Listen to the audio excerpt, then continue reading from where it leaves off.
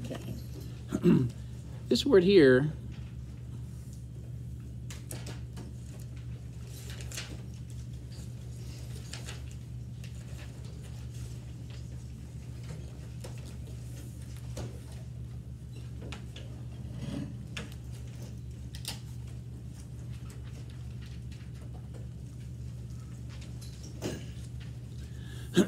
we actually have done a little bit of stoichiometry, haven't you?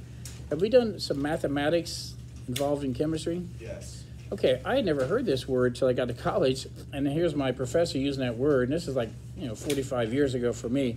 It's like, what's that word? Stoichiometry. That's weird. Have you ever heard that word before? It's weird. Anyway, it's uh, if you do use it, they'll say, "Whoa, you're, you're pretty smart." You say, "Well, we were doing some stoichiometric problems in chemistry class." They'll say, "Whoa, you're going to Harvard next year?" Anyway, if you use kind of words like if you words like that, um, people they, they've never heard that word either. So stoichiometry is simply the mathematics of chemistry, and it has a lot to do with chemical reactions. Now, so far, we've done some stoichiometry, but it had nothing to do with a chemical reaction. It just had to do with how many grams it take to make a mole, or how many atoms, or how many AMUs. But it had nothing to do with a chemical reaction. So most of the time when a, a chemistry professor or whatever uses this term, they're probably going to get into the chemical reaction, okay? So what I'm going to do is, I think I will show, start with, um, let's start with this right here. Here's an equation. Um, Okay, C3H8. Let's do that. C3H8 is going to react with uh, oxygen and it's going to form. what do you think is going to happen? What do you think is going to happen uh, here? What is it? It could be, could be might maybe, but I think there's another one that fits closer to. What's what's another kind of reaction that's probably a little closer to this? I'm looking at your faces now. What? It, is. we have a carbon hydrogen uh, fuel, don't we? And we're going to burn it. And so, if that's the case, then what should I get for products? If it's complete combustion, right? H2O and CO2. Very, very good. Now, you see that?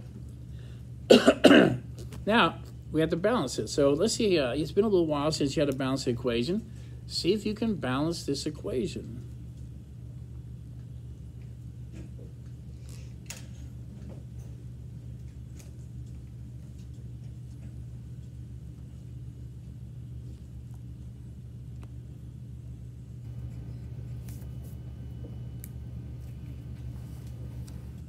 We're okay on balancing? Okay, let's take a look. Um, you can start with carbon if you want. There's nothing wrong with that. So I'll put a little three here, just a little light three, because I might have to change it. and then have eight hydrogens. Hey, you know what? I'm not putting an odd number in front of the water, am I? So this might work out all right, even. Now, let's take a look how many oxygens do we have. We have 4 times 1, that's 4 oxygens, plus 6, that's 10. Hmm, what do you think? Does that look pretty good? Yes. Okay, so I'll go ahead and make these a little darker. could you, could everybody hear it? We'll keep balancing that, right? Okay. Well, now, what makes this different than we've ever done before? Okay, and I'll show you what makes it different after chemists figured out what things were made of, what's the empirical formula, what's the molecular formula, the next thing we want to know is how do chemicals react with each other? What, what is the what was the number of particles that react with the number of particles? And, and that's what this is about. and so I'm going to show you, this is something we've never done before. I'm going to pretend that I have 100 grams of this material here. And what I want to know is how many grams of oxygen will it um, will it form? What does it need? How many grams of carbon dioxide going to be produced, and how many grams of water are going to be produced? So that's my question here. Can we figure out the mathematics of this chemical reaction? okay, and I'm going to also tell you that when I was in high school, I simply thought balancing equation was some little trick, some little skill that you wanted me to know, but it had no real purpose in chemistry. It was just, hey, can you do that? It's like in math. Can you find the slope of that line? Yes. What are you going to do with it? "Mm, I don't know. I can find the slope though. It was uh, what was the purpose of, of them teaching you how to find slope? Do you know what? What was the purpose? Just to say you could do it? But yet the idea of slope is used all over the place, all over the place in math and science. Okay, how about geometry? Oh, nobody ever uses that geometry stuff. Is that right? Is that right? Okay, so sometimes in school you learn a skill, you just don't know what it's going to be used for. And right now, you're not sure why you had to balance an equation, except that I said, Do you know how to do this? Well, guess what? guess what this is? I'll give you. In the little world, this could mean one molecule of this. And by the way, this ain't this is a gas. It's called, I'll just give you the name of it. It's called propane. so every time at home, if you have an outdoor grill and you have one of those tanks, this is what you're doing when you get ready to turn on your grill. You have propane that comes out, it combines with oxygen, and it burns. And it has a lot of heat. And that's how it works. So this is the combustion of propane. Okay, so ready. if this was in the little tiny world, one molecule of propane would react with, help me, Five molecules. five molecules of Oxygen. oxygen, and it would produce Three molecules. three molecules of carbon dioxide and four molecules of water. But I can't visit that world. But how did I figure that out? How did I figure out what was going on in the little world? Because guess what? What world mirrors it? Grams. What is it? It starts with M. Mole. World. How else can you read this equation? Ready?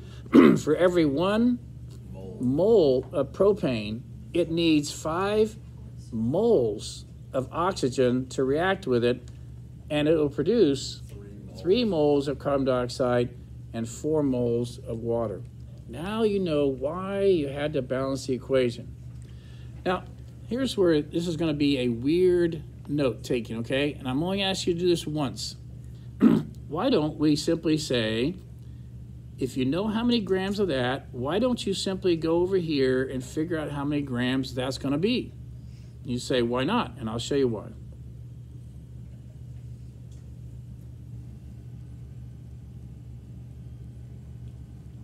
because there's a big tree in the way.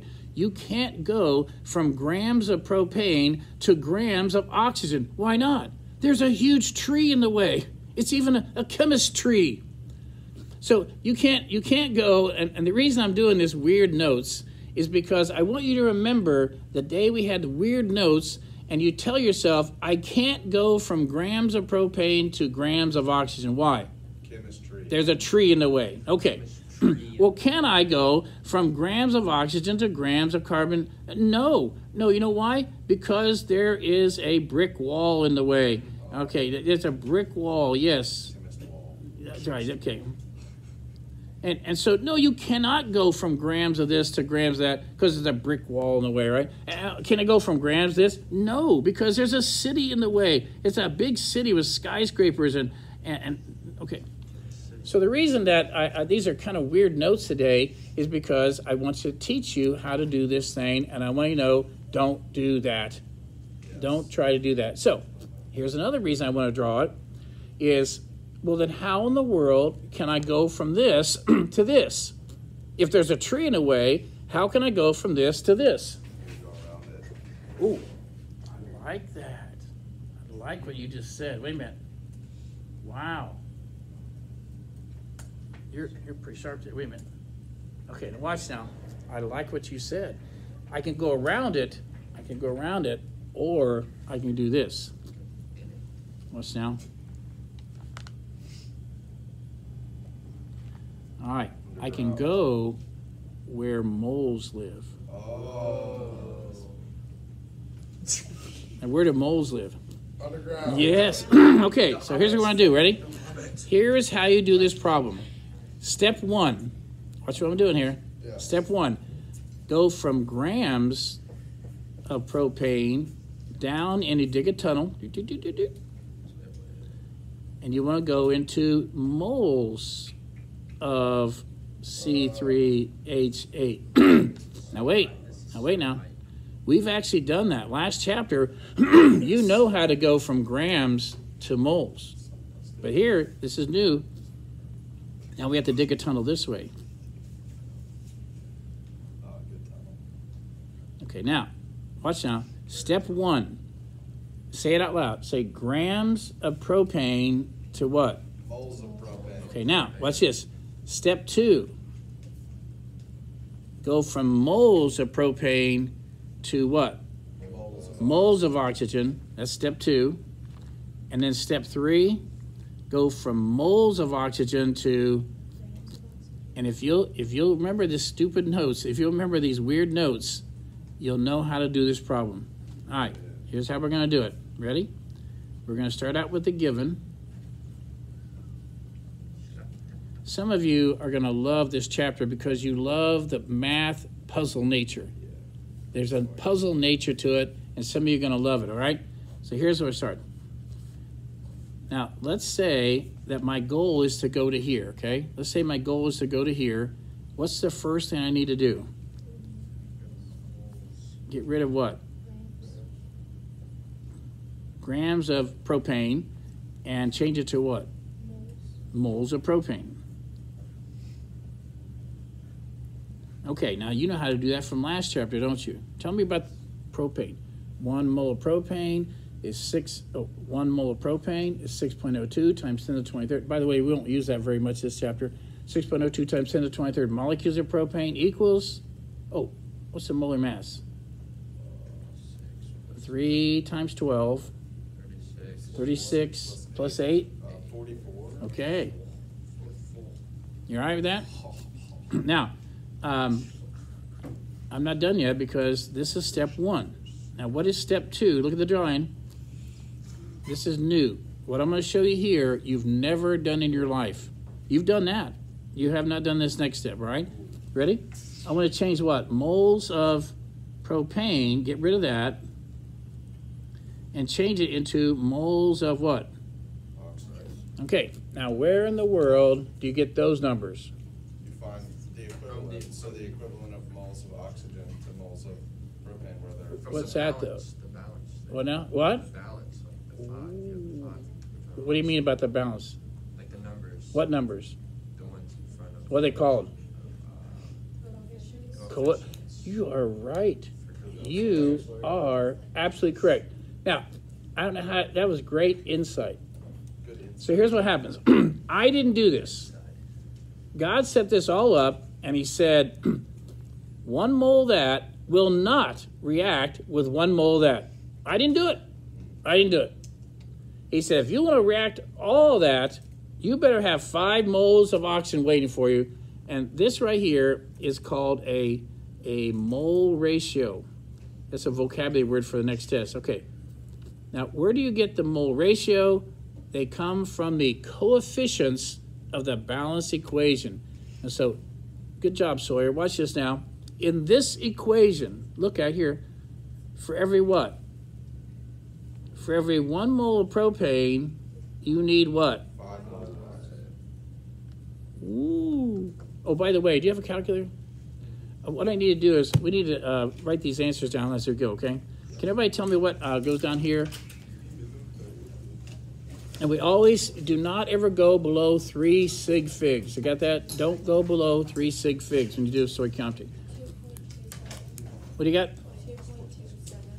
Two point three seven.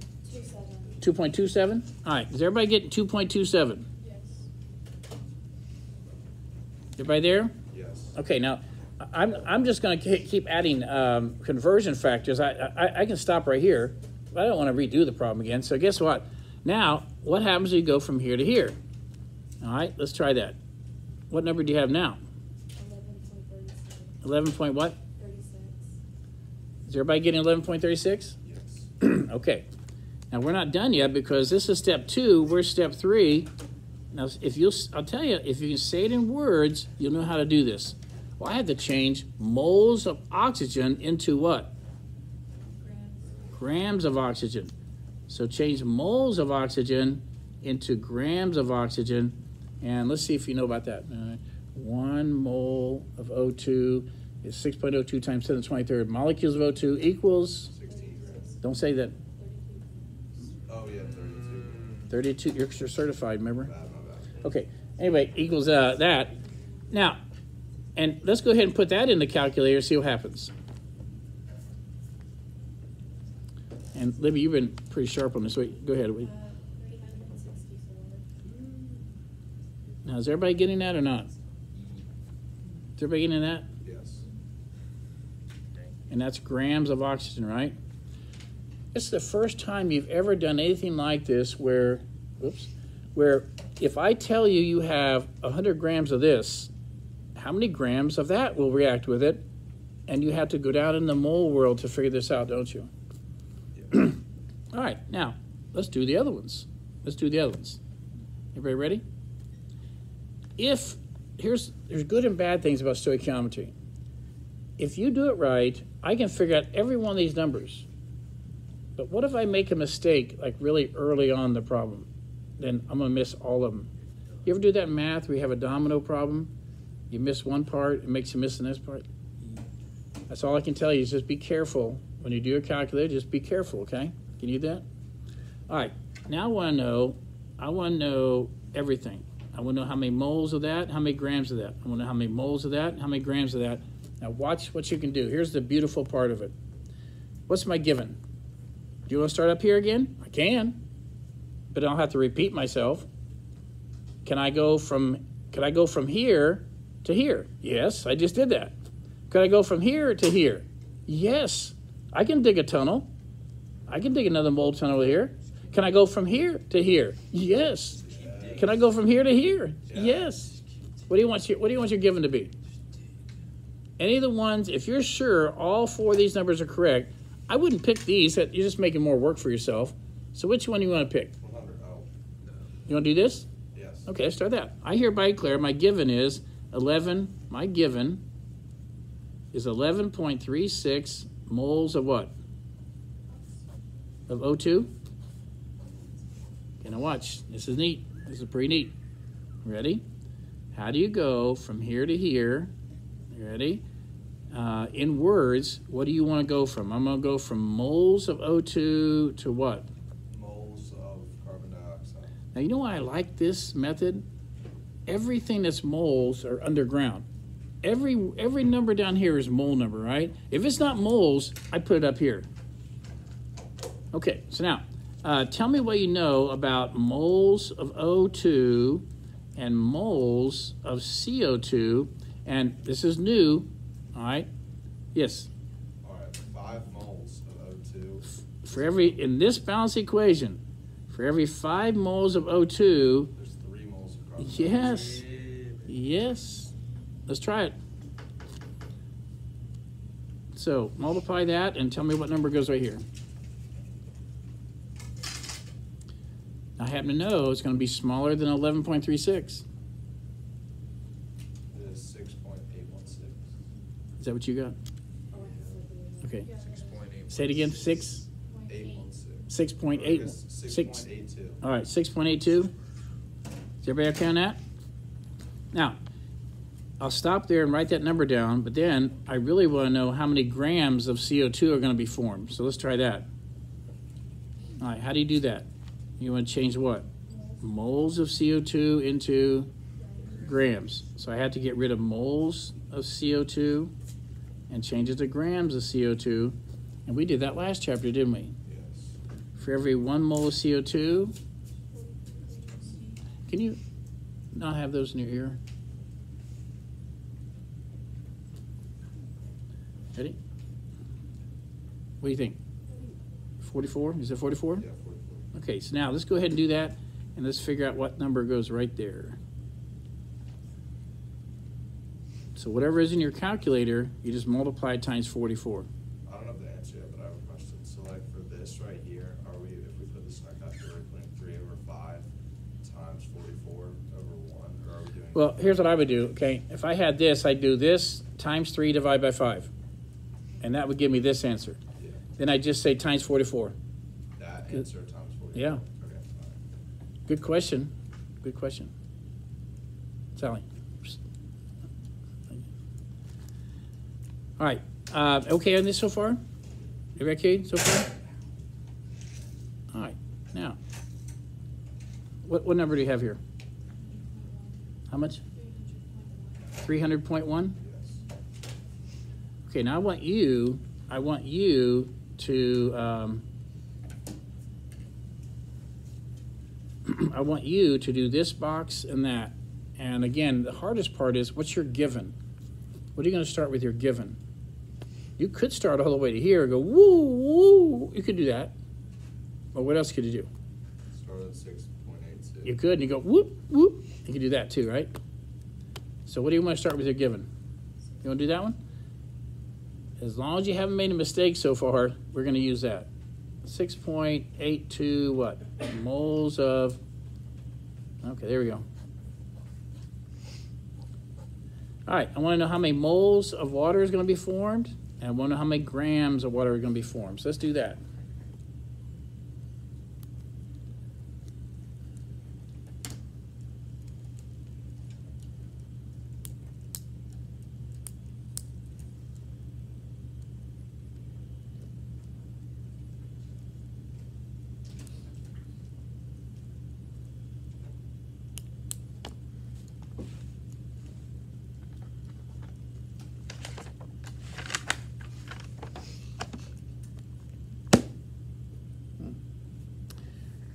Okay, wait a minute. Hang on. Um,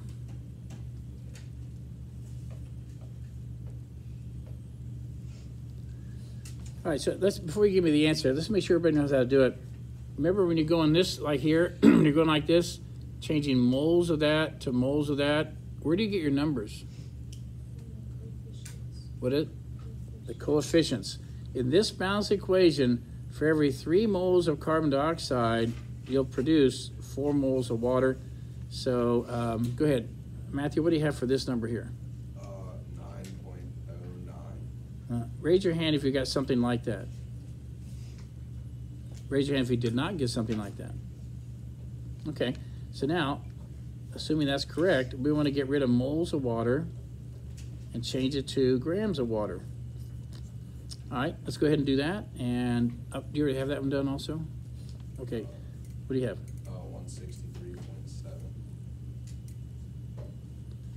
And so here, every one mole of water is 18 grams of water, right? Is that what you had? Oh, I had, uh, yeah, yeah, yeah, that was mine. If you didn't use 18, then that number's wrong. Yeah, yeah, that's what I had. How many people got that? About 163.7. Okay. All right, now here's a little magic. Okay, let's talk about chemistry magic. Would you please take these two numbers and add them together, and then take these two numbers and add them together? So take these two numbers and add them together.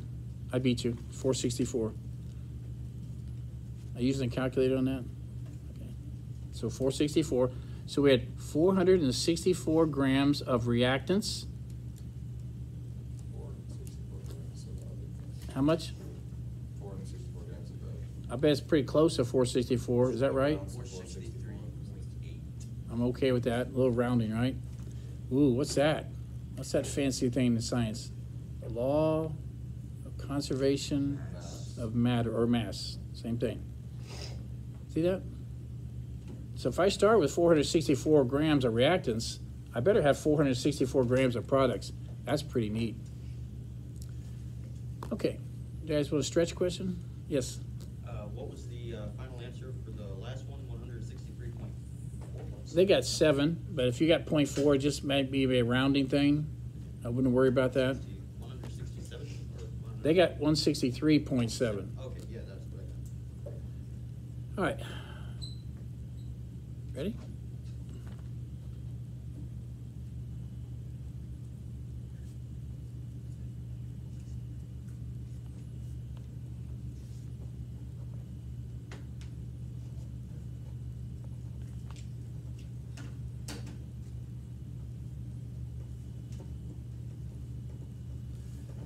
Sit with somebody. I'll give you three minutes to see if you can figure that out. What if you had an experiment where you knew a lot of gas is going to be produced, and you know your container was only so large? You said, "Hey, boss, if we do this experiment, there's going to be so much gas produced it might even break break the container." So we need to find out um, how much how much volume, how many liters of carbon dioxide gas are going to be produced in this experiment. All right, sit with somebody, see if you can figure it out. Oh, we're gonna read it. It says, how many liters of CO2, how many liters of CO2 uh, at, S, at STP are formed in this reaction? How many liters?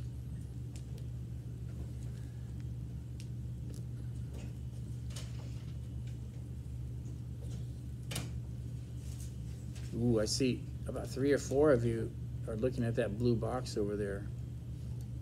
Very resourceful.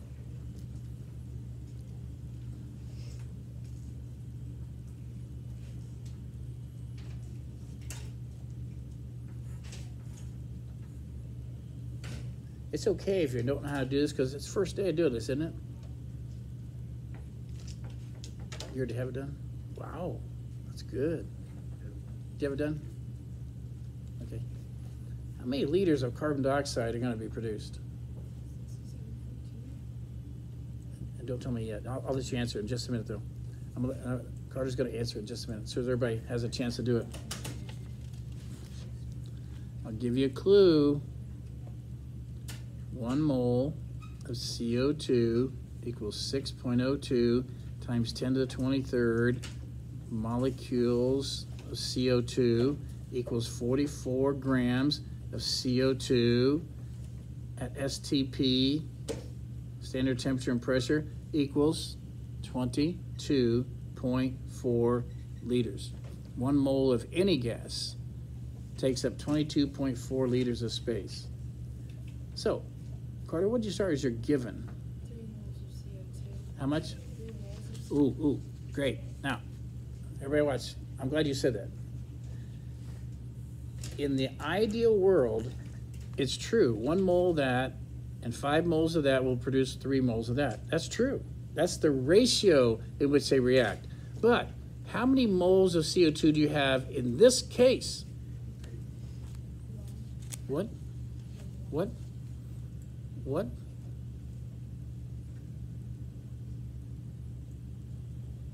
How many moles of CO2 do we have in this particular reaction?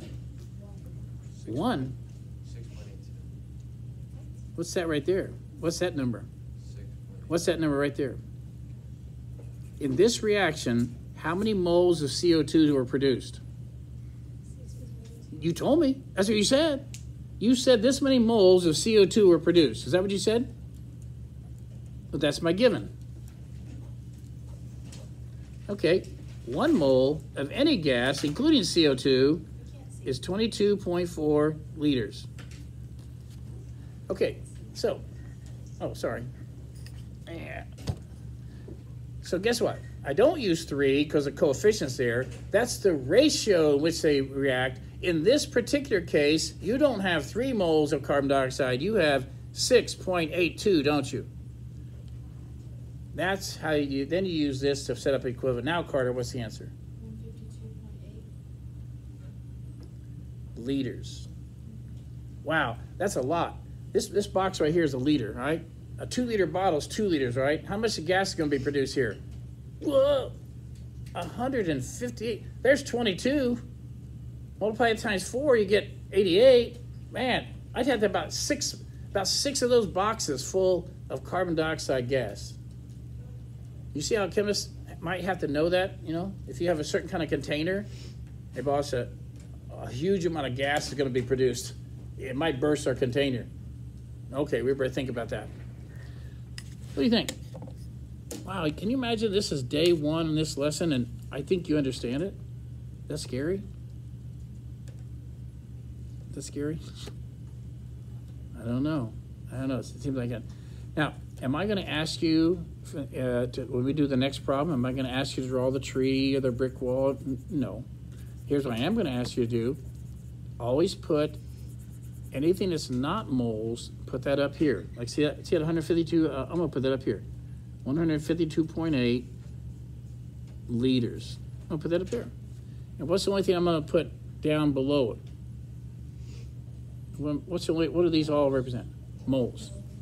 And so if someone said to you, how, many moles of water were made? Boink.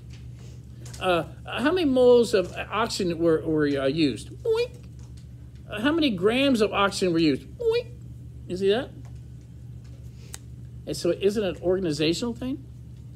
If I can get you to organize your data, you can do any of these problems. All right, so we're a little short on time. Okay. Um, okay. How about questions?